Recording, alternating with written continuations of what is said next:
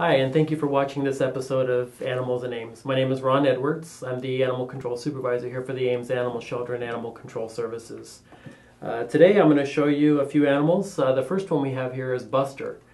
Buster actually was just recently returned to us. Um, he was adopted into a home and they had a smaller dog and Buster didn't care for the smaller dog too much so he'd probably be better in a home where he was the only dog um, or maybe a larger dog might work for him. Uh, we actually had him in a in a play group here at the shelter so we can get uh, work on his dog socialization skills and he was fine. He kind of preferred to be the only dog in the group um, and just kind of stayed away from the others but didn't show any kind of aggression. But he was surrendered because he was aggressive with the small dog. So definitely wanted, wants to be the only dog in the household or maybe a larger dog. Uh, he's about four years old. Um, we're saying that he's kind of maybe a Whippet uh, Beagle mix. Uh, seems to be very friendly, one of the uh, favorites of the volunteers, and uh, seems to do well. Uh, wants to be an indoor dog, of course. Uh, the winters are very cold here, as you know, and he's got really short hair, so he doesn't have much to protect him from the elements. So we want to find an indoor home here for Buster. he would much rather be with the people anyways. So come down and take a look at Buster today. He's a great dog.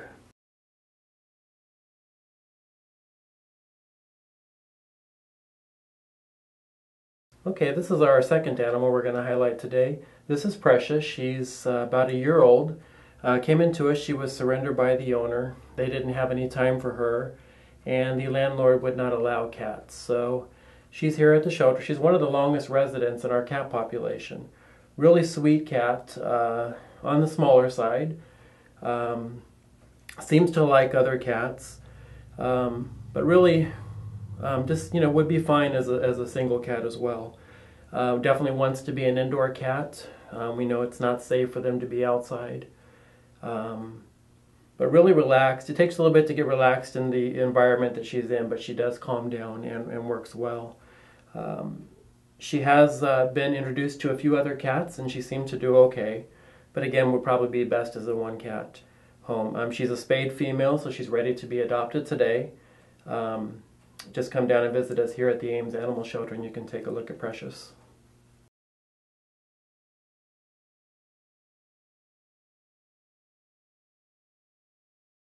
And here we have Othello. Othello is uh, about a three-year-old neuter male. He's a beautiful black and white tuxedo cat. Um, kind of a big guy. He uh, definitely uh, is not not small like Precious, like the last cat that you just saw on. Um, outgoing, seems to love other cats. He actually, we tried to set him up with Morticia, one of the other cats here at the shelter, and she didn't want to uh, be friends with Othello, but uh, he still tried his best to be friends. Uh, he is a neuter male, uh, so no worrying about some other kittens. Um, but really friendly cat, one of the shelter's favorites. Um, does a lot of talking. Um, he's a little shy right now with the camera, but uh, usually talks quite a bit um, and uh, really gets to uh, gets to talk to the volunteers that uh, enjoy working with them. But um, he's just going to go off and have his own fun here. So Othello's a great cat. Uh, come down and consider adopting him. He is neutered, ready to go. Um, and like I said, if you spend more time with him, you'll really get to know Othello and you think he's a great cat.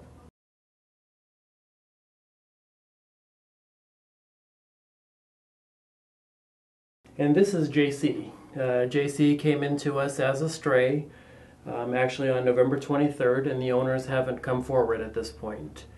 Beautiful chocolate point Siamese. Um, in, in, typical Siamese fashion, uh, JC likes to talk a lot. Um, volunteers really like him. He is an older cat, uh, so he might uh, might be do best in a home with not a lot of small children, but maybe some older adults. Um, seems to want to sit in your lap a lot, um, but just kind of calm. Um, really not uh, too active. Would spend time uh, sitting in front of the fire, especially here for the Iowa winters. Seems to like other cats, uh, so may also do well in a home with another cat, um, but probably not a kitten. Um, and, and, there's the Siamese for you. Um, but uh, beautiful markings. That chocolate point uh, Siamese and he's also going down for a walk. So come down and take a look at JC. He's a great cat.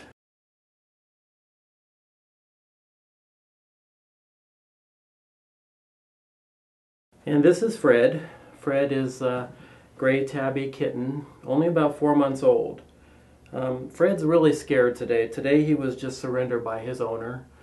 Um, they were no longer able to care for the mother um, and the other sibling. So we have Fred, Barney, and uh, the mom here.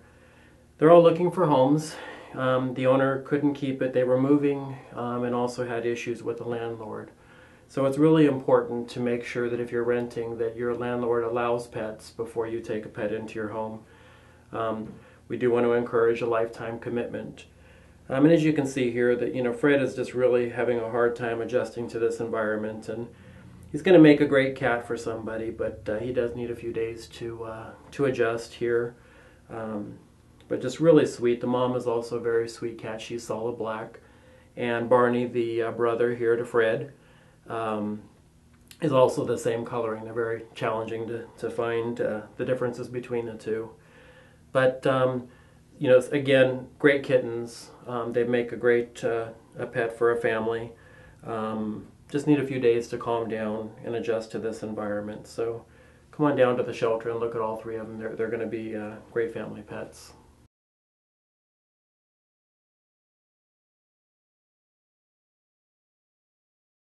Great. Thank you for watching the show today. We uh, just want you to know that that's just a sampling of all the animals that we have here available for adoption at the Ames Animal Shelter. There's lots of other pets here for you to see, uh, lots of dogs, lots of cats. Um, please come down and consider adopting one. Um, get, let's get them in the homes for the holidays. Um, also want to give out a reminder that please remember to keep identification on your pets. That's the easiest way for us to get them back to you. Uh, collars are not always the best form of identification. They easily come off or people take them off, but you want to make sure that your pet has a microchip as well. Contact your local veterinary office for microchips. Um, every animal that comes in here to the shelter is scanned for a microchip, so if it has a microchip, we can get it back to you sooner and they won't have to spend as much time here in the shelter. Thank you.